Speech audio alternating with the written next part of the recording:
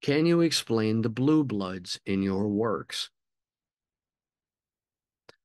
Blue blood is a derogatory term for a hemophiliac whose blood does not contain enough red blood cells to act as clotting agents to scab over a wound.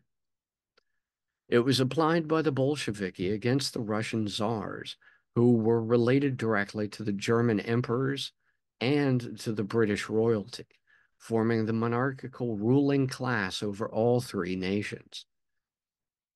The reason this ruling class were anemic is due to generations of inbreeding between the ruling families of the various territories, resulting in many genetic defects, one of them being to exhibit anemia or blue blood. Given the science available in the early 20th century, those who opposed this ruling class speculated these inbred monarchs were all Rh negative, meaning that their genetic code lacked the profile of the rhesus monkey gene, common to the rest of humanity.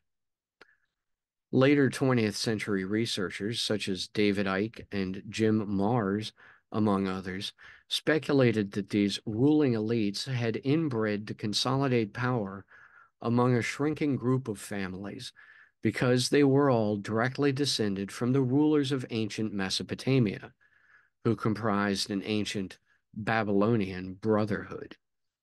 Most of these claims do not prove to be true, but it is only in the context of conspiracy theory I use this term in my own works.